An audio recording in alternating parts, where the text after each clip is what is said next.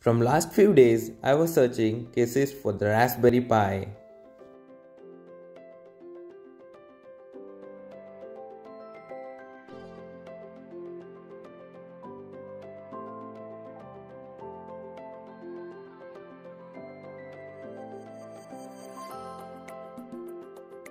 And I got the variety of cases onto the Amazon's page. Some were for cooling, some were of fiber and some were of transparent acrylic sheet. But I didn't like it because they were too simple. So I thought to build a, a custom case for my Raspberry Pi. So let's get started.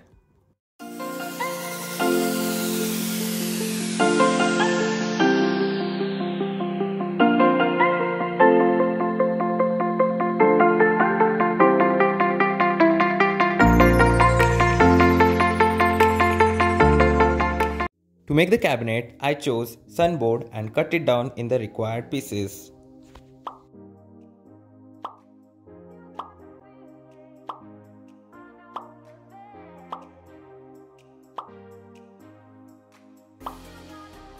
I choose the 120mm RGB fans which are from Deepcool. So it's a pack of 3 which contains some screws, a hub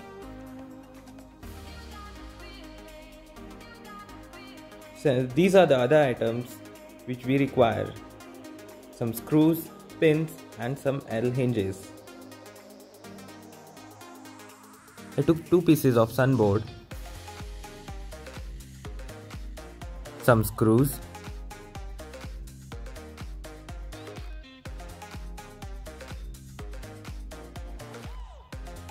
fans and then now we are going to join the fans using the sunboard.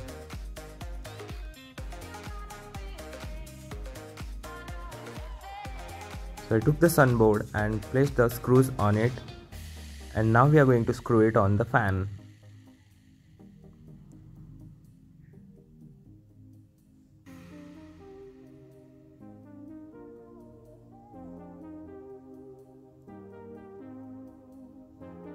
We're going to place the another piece of sunboard on the front side of the fan that so that it holds good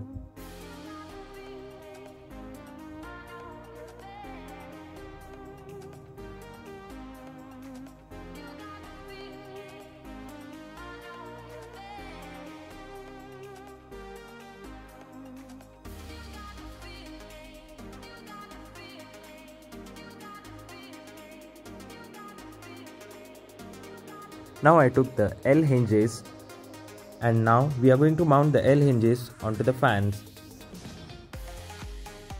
So took two screws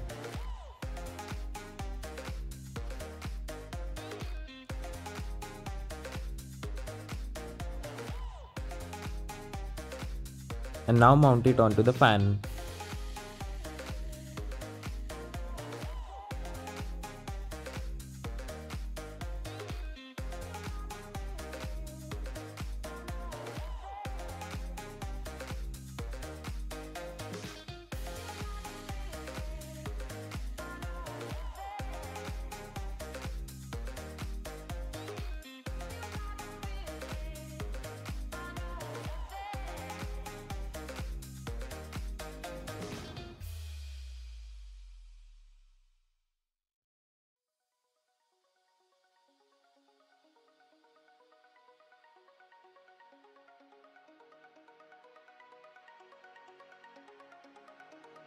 After mounting the L hinge onto the fan, so I now took another fan, another fan, some screws, then took a piece of sunboard.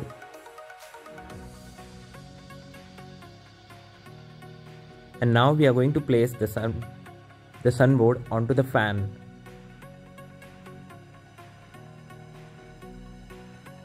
with the help of the screws.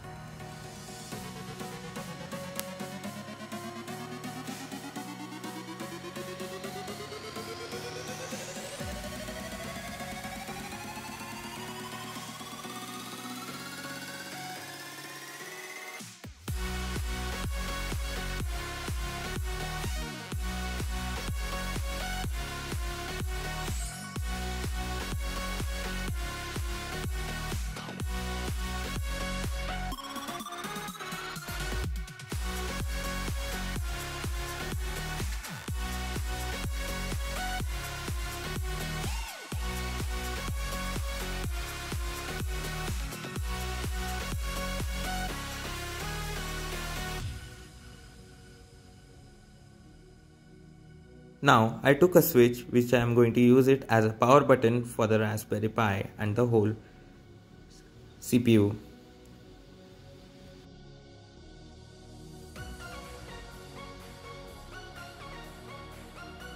And started making a slot in to fix the switch onto the sunboard.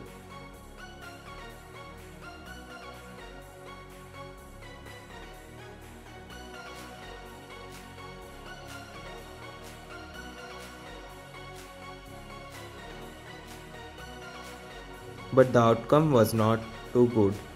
So I replaced it with the touch sensor and now I'm going to make a touch circuit from which I'm going to use a Arduino a single channel relay module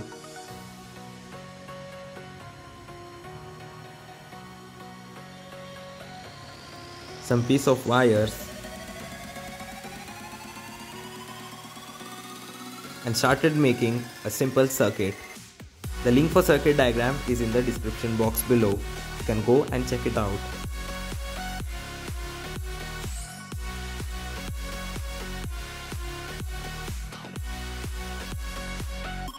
Now I'm gonna use the programming cable to program the Arduino and plugged it onto my PC.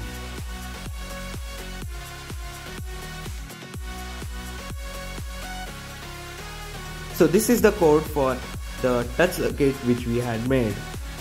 Now need to go in tools, select the board and the common port for the Arduino. In my case I'm gonna use the Arduino Uno and the common port is 17. Then these are the two pins which will go for the touch sensor and the relay module.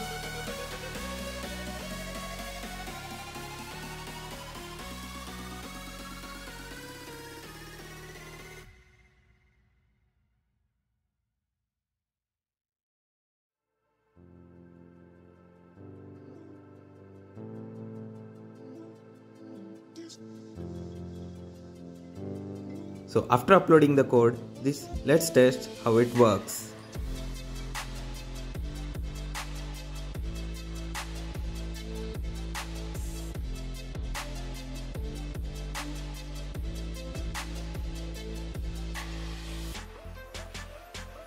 So I've cut down another piece of sunboard for the touch sensor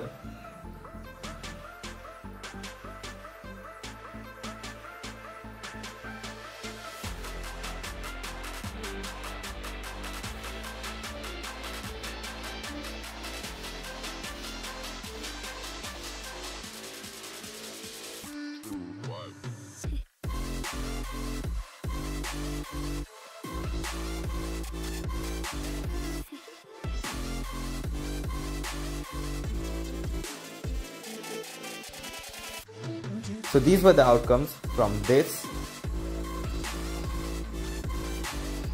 to this.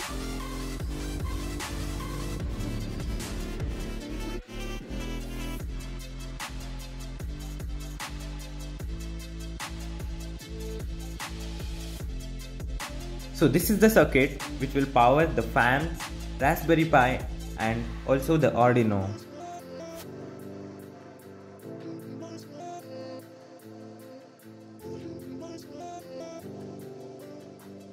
So these are the two wires which will go to the relay and these are the wires which will go to the Raspberry Pi and also the fan. Then these, these two wires positive negative will go to the Arduino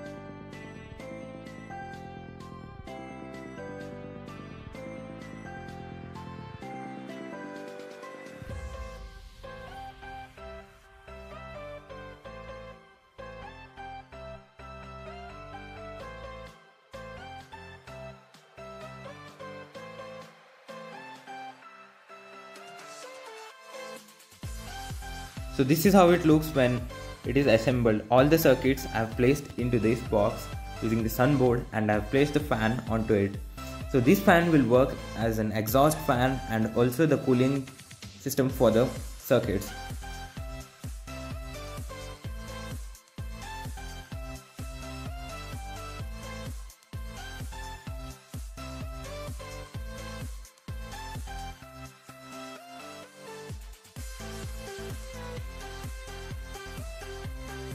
So now we are going to install the L hinges onto the pieces of sunboard to install the acrylic sheet onto the right hand side of the cabinet.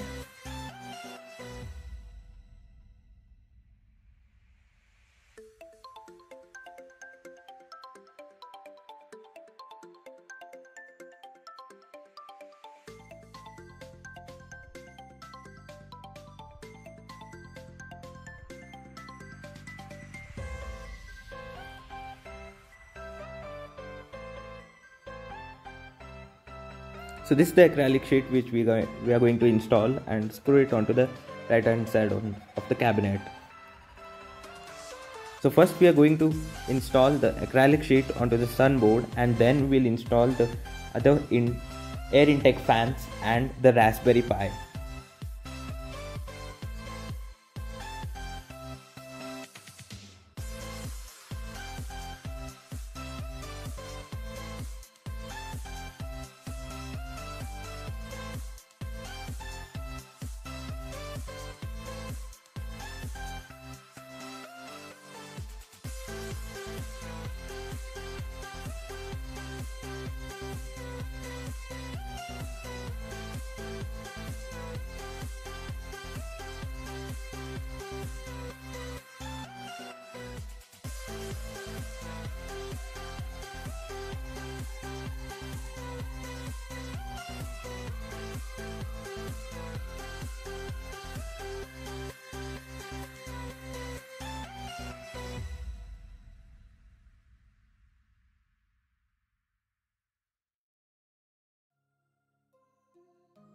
So now we are going to install the circuits inside the cabinet.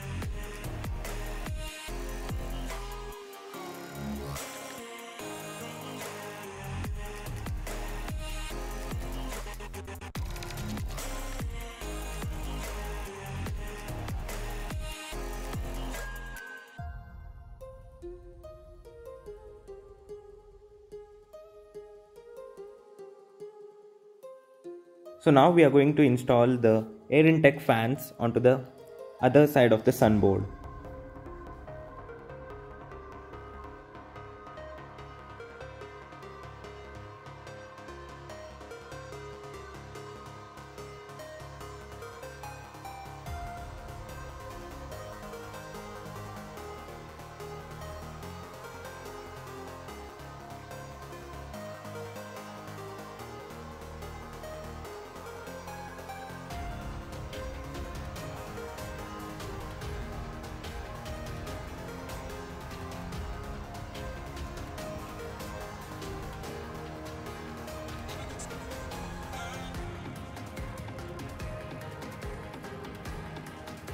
So before mounting the Raspberry Pi onto the sunboard, let's hop onto the PC again and flash the OS onto the Raspberry Pi. As we are on a PC, now let's open a favorite browser and we are on a Raspberry Pi's official page. From here we are going to install the imaging software from which we are going to flash the OS onto the SD card. So click on the software and you'll head on to this page. Then you need to scroll down and you will get the imaging software link. So it is available available for Mac, also Ubuntu and Windows. In my case I have Windows so I'll download it for Windows. So this is the page from where we are going to download the SD card formatter. The link for this website is also in the description box below. You can go and check it out. This software is available for Mac and Windows.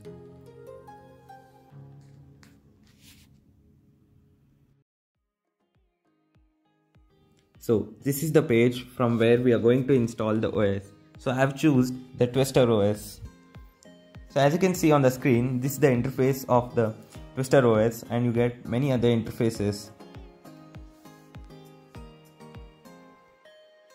So you need to go in the download section and you will get this is the OS which we require.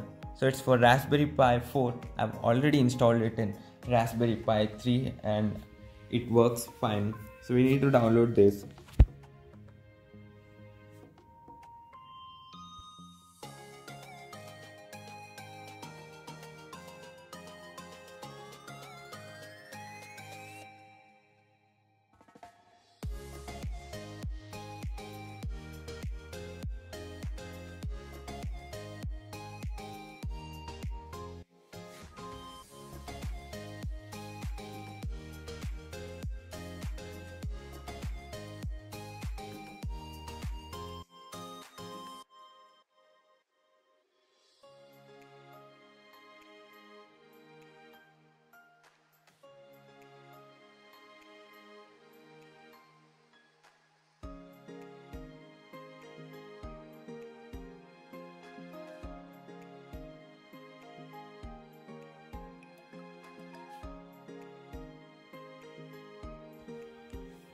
now I'm gonna open the Raspberry Pi imaging software.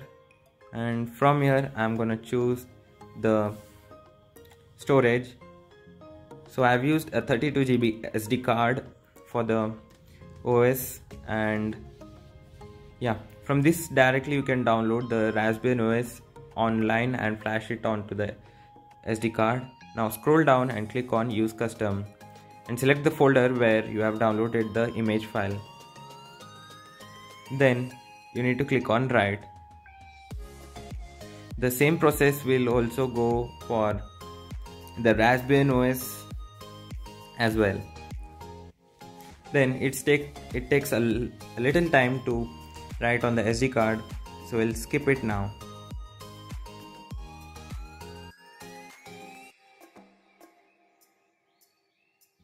So now let's start mounting the Raspberry Pi onto the Sunboard. So before mounting the Raspberry Pi, we'll just apply the therm thermal paste onto the Raspberry Pi's processor and put place a heatsink on it.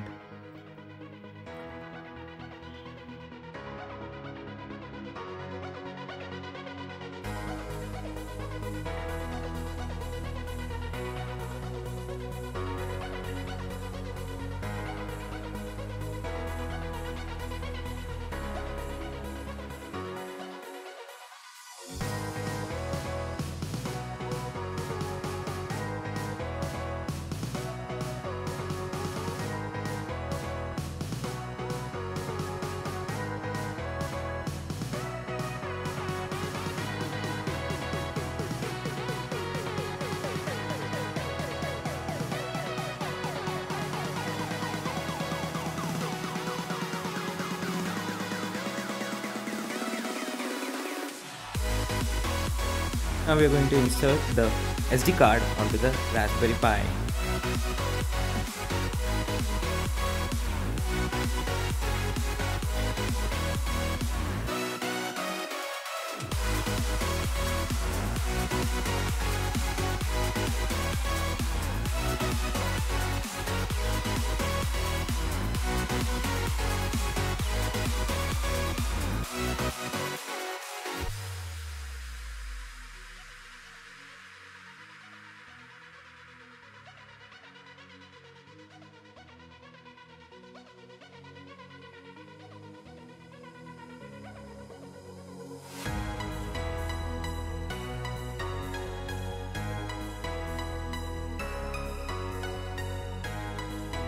Now we are going to mount the mini 12 volt fan onto the heatsink.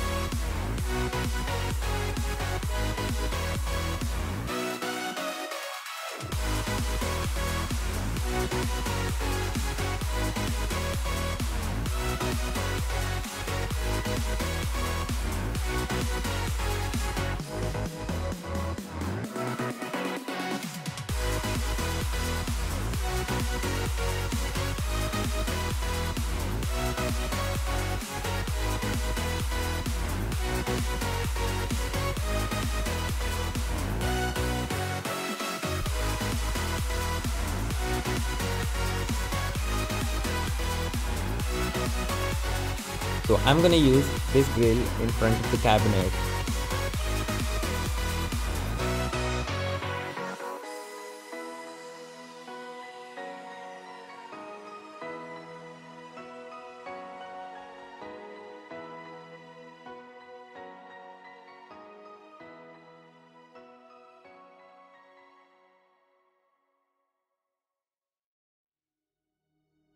So finally the work of the cabinet has been done. Now let's do the setup. For that you need the basic requirements of the computer. A keyboard, a monitor and a mouse. I'm going to use this VGA to HDMI converter because my monitor doesn't support HDMI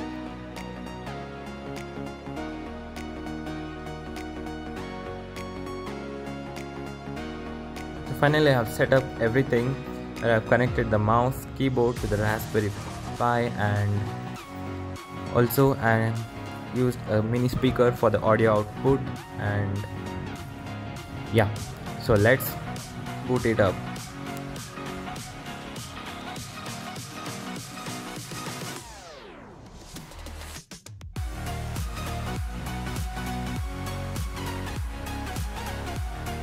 so it takes a little bit time to boot up.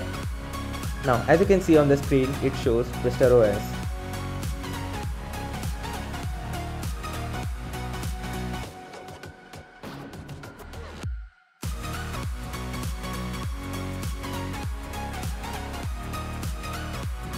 So as you can see this is the screen when you get uh, when you boot it for the first time. Yeah in the right hand side of the screen you get the system performance where it shows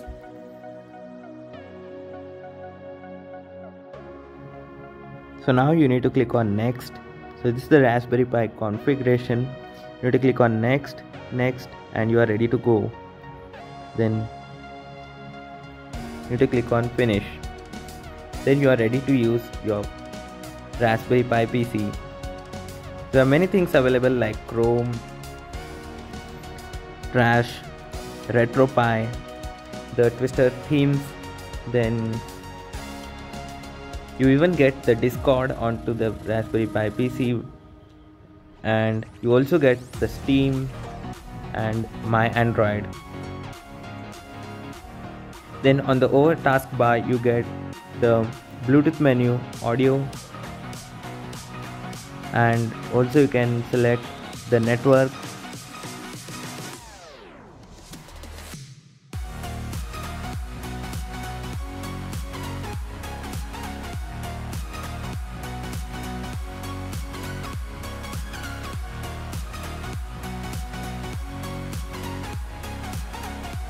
On the top right hand side corner you get the power button where you can shut down the Raspberry Pi PC and there the various modes. Now we are going to change the theme. So this is the where the magic happens of the Twister OS. Yeah, now to change the theme you need to click on theme twister. So now for the different themes we are going to click on the theme twister and click on next. You will get the various interfaces. The one which is here as you can see on the screen. The second one is Twister 95. Then next you get the Twister XP which is the Windows XP interface. Then you also get the Twister 7 which is for Windows 7 interface and also get the Windows 10 interface. So all all are available in light and dark theme and the two nice things are here you also get two uh, interfaces of iMac yeah. You get the two interfaces of Mac OS which are also available in the dark theme and also in the light theme. So now let's check out how the various themes look like. Selected the Twister 10 theme because Windows 7 and Windows XP are normal to see. So let's see how the Windows 10 interface look on to the Raspberry Pi. When you click on that you get a terminal interface where you need to click on enter then it asks and it reboots the Ras Raspberry Pi. So now the Raspberry Pi is rebooting.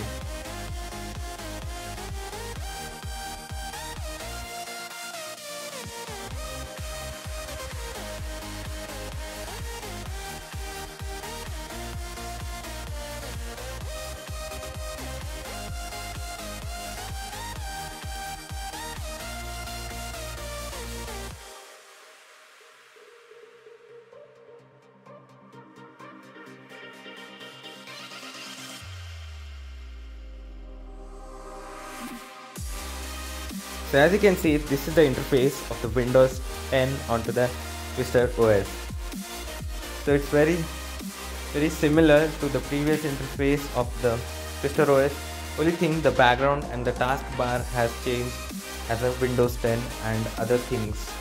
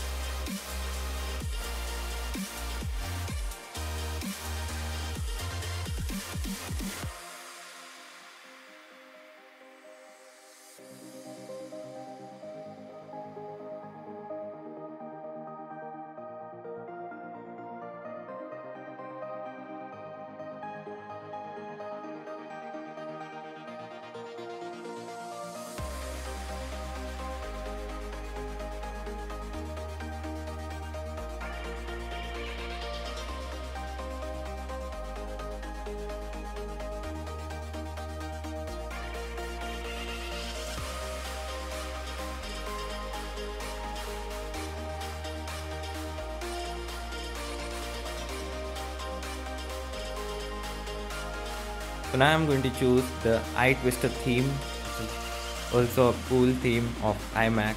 Now it is telling to press enter, so I've hit the enter button and now it will reboot the Raspberry Pi.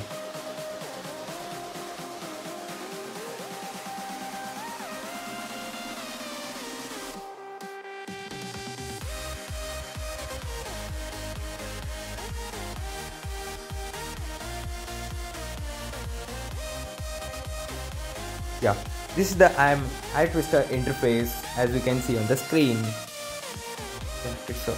Also the similar only the top and the lower taskbar has been changed.